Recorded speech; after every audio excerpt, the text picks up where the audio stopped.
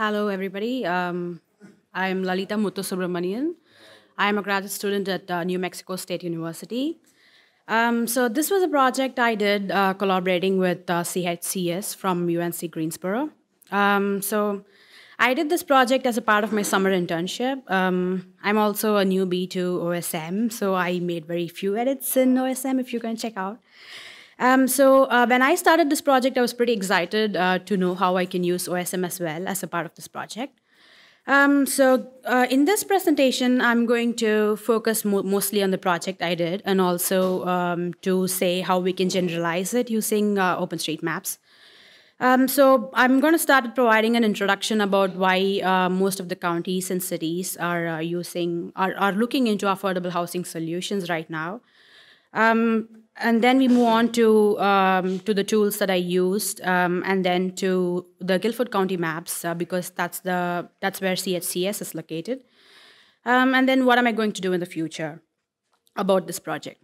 So, uh, giving a brief overview, uh, like I said, this project was initiated by Center for Housing and Community Studies.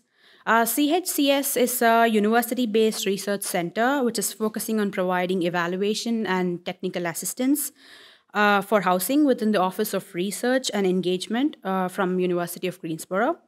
As a part of the uh, as a part of the mission, CHCS is committed to investigating and understanding uh, how the social and economical factors in in that area is going to affect the people uh, or the residents, and also affect how the how the housing is going to be shaped in the future.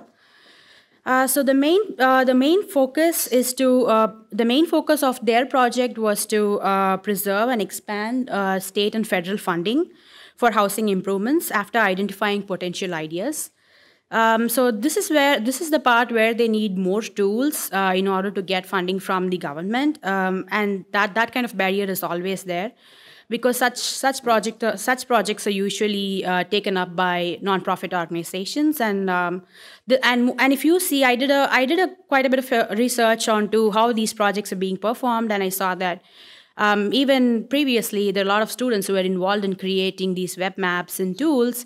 Um, so if you if you look at it in funding perspective um, students don't get funding to do such kind of projects. It's a, it's a cool project to do for summer internship. It's a cool project to do for my own experience in GIS, but um, where do I get the funding from?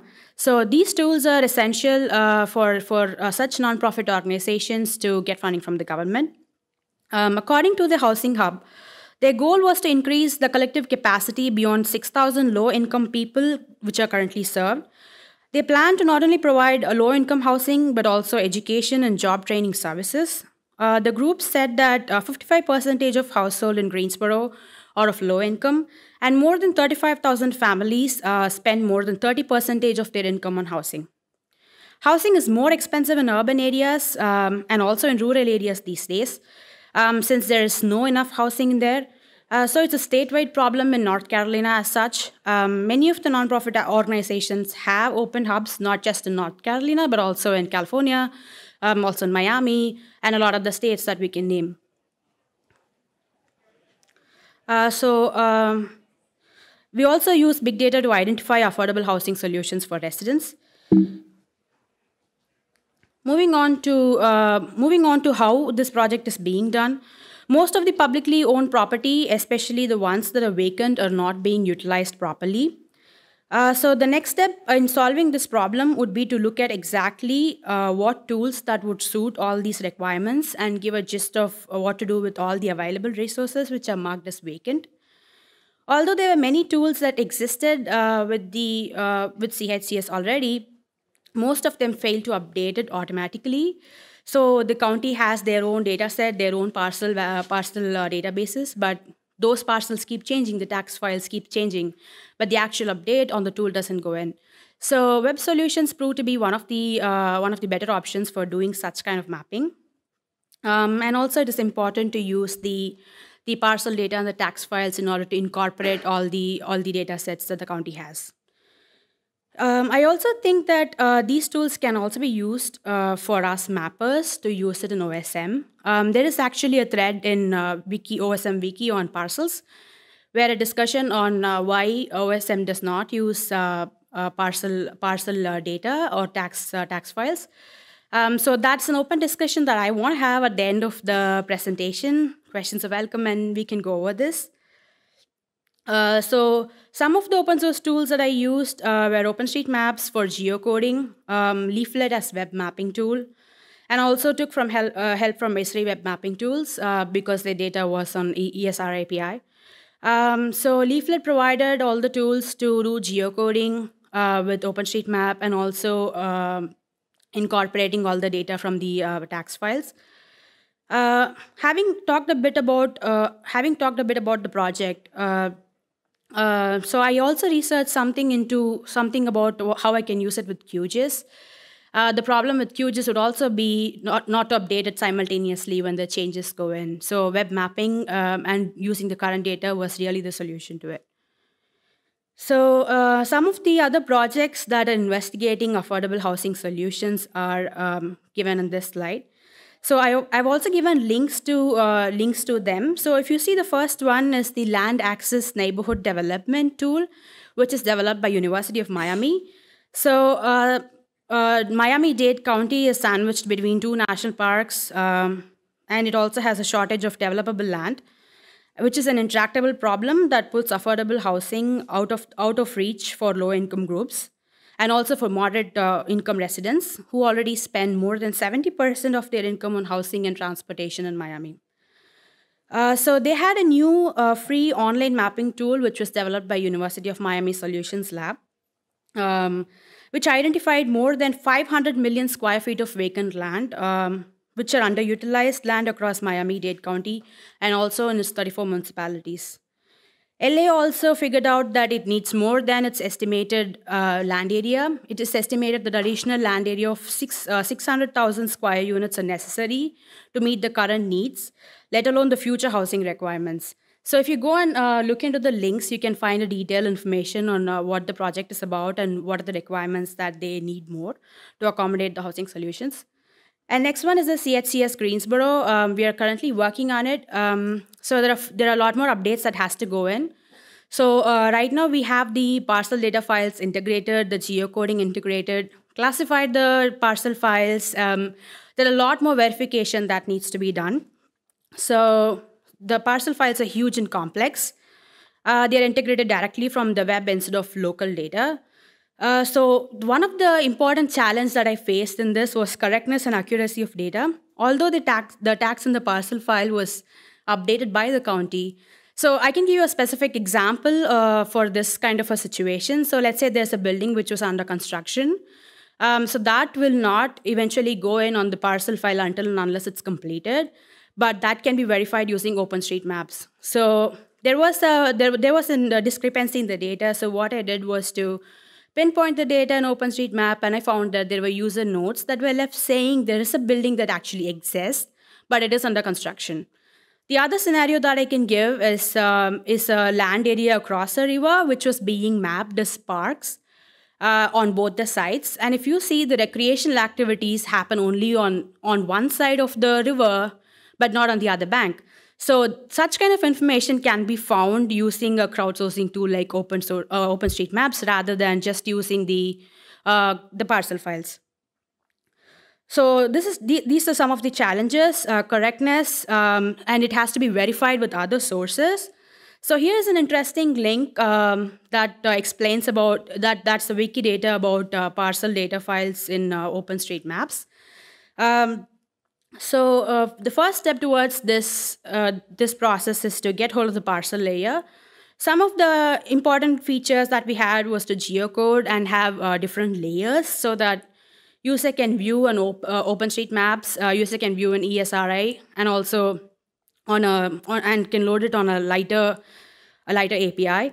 So um, we figured out that we needed to work with complex parcel data integrating everything at a place uh, would make it versatile and it would it would be a problem so uh, uh, so uh, this has to be used with some kind of cloud solutions like amazon aws or something like that so i stumbled upon a wiki page while doing uh, while doing this history uh, on why parcel data is not being used on osm so parcel is a very generalized term. Parcel can denote a lot or a tract or a piece of real property. Uh, local tax assessors in United States uh, use a recorded document uh, to stream the main tax map, but they are not actually uh, they are not actually updated by the assessors, uh, not by the government, but by the assessors. So they all maintain a unique number to it, which is called as the APN, and uh, they also maintain the tax parcels like value, the, the exemptions, etc., and contact information for the parcel owner. The assessors uh, may or may not have it readily available in a GIS format such as shape files. So when they are available, they're often maintained uh, by a third party but not by the assessor. So uh, we know that in OpenStreetMap, we map what we see. Um, so the whole idea of using these tax files would, would provide some sort of solution. So I know there's a field called land use, which can be marked as residential uh, we can probably, uh, what we can do is we can probably classify them on a widely used uh, basis. So most of the uh, widely used classifications were, um, so this is the two different layers that I was talking about. So most of the uh, classifications were uh, institutional, government, residential, commercial, agriculture, and development restricted. So this, uh, I know this is going to take some kind of a research to go back and uh, focus on what are the different classification that each and every county is going to have. Um, since since this is just a single county, um, it's easier for me to just extract all the data from the from the tax files and import it. Go and verify with OpenStreetMaps. Go and verify with other sources and and do it. But if this tool needs to be generalized so that it can be used used by other counties because now is the time where everybody are looking into uh, affordable housing solutions. Um, so uh, if you go and look into many counties which are urbanized they all do affordable housing solutions. So importing this kind of uh, this kind of user user using uh, tags like land use is equal to residential is not going to really help in integrating uh, OSM data, whereas we use OSM for all, for all the other features like transportation for geocoding. It would be a really nice uh, add-on feature to have. Um, so we can we can have uh, multiple classifications and we can tag it to all the property that we map uh, that we map on the map on OSM uh, map on OSM. So here the idea is that um, it's it's just not to find the housing or the residential property in the area, but to provide the vacant lands in the area and also to see um, and also to see uh, which which of these areas have been marked differently and which of these might have more solutions to uh, to the to the government.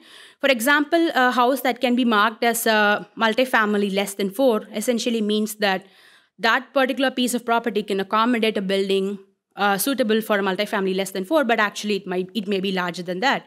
So if we find contiguous uh, parcels of such data, such, uh, such land area can be modified to accommodate more users or more housing solutions is the, is the ultimatum of what I'm talking about. So, um, so this tool shows the vacant land area. Um, uh, in, so this is just a screenshot of the web map that I put up here. So in this, we can search the uh, search the area or search using the zip codes um, and also find the vacant land area. So in the future, we are planning to uh, use contiguous parcel attributes. Um, as I said, it's a it's a work under progress, and so we we are going to see which can be used uh, effectively. And we're also planning to include zoning and uh, transportation to find out um, which places are more connected and whether we can have whether we can improve more housing solution in that particular area. So that's all I have. Questions?